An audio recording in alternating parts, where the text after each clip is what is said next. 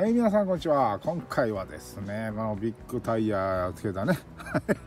えー、グラスホッパーホーネット系のシャーシですね。ホーネットシャーシなんですけどね。使い回しておりますけど今回グラスホッパーのボディつけてみましたというね。ノーマルグラスホッパーのボディもね、えー、視聴者様にいただきましたのでつけてみました。そしてねこのリアについてるダンパーのね、えー、メンテナンス風景をね、えこの走行動画の後につけときますのでね。あの軽く流し見していただければ いいのかなというそんなこんな感じでダンパーメンテしてますよみたいなうちの店長がねやってるやつつけておきますのでね是非、えー、最後の方も見ていただければなというわけです。まああの走りはねあのいつもみたいにショートオフロードショートコースをねなんとなく走りますのではい。なんとなく見ていただければ ありがたいですよ。はい。それでは早速走ってまいりましょう。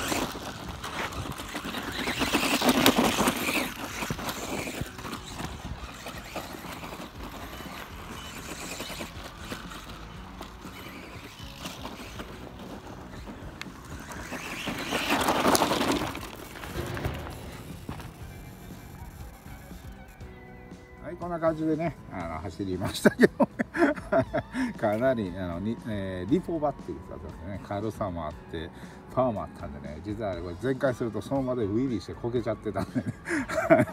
かなりセーブして走りましたけどね。今度あのこれ全開で走れるようにねセッティングしてねまた皆さんにお見せできればと思ってますのでね、はい、お付き合い願えたら嬉しいです。そしてこの後にねさ冒頭で言ってたようにねえー、ダンパーオイルダンパーのメンテナンス風景をタイムラプス早送りでねあのくっつけておきます くっつけときますのでね、はい えー、見ていただきたいと思います。はい先にね、はい、ちょっとしておきましょうかね。はい。それではこの動画面白いと思いましたら、グッドボタン、チャンネル登録、Twitter のフォローよろしければね、サブチャンネルもいたしております。そちらの登録もよろしくお願いいたします。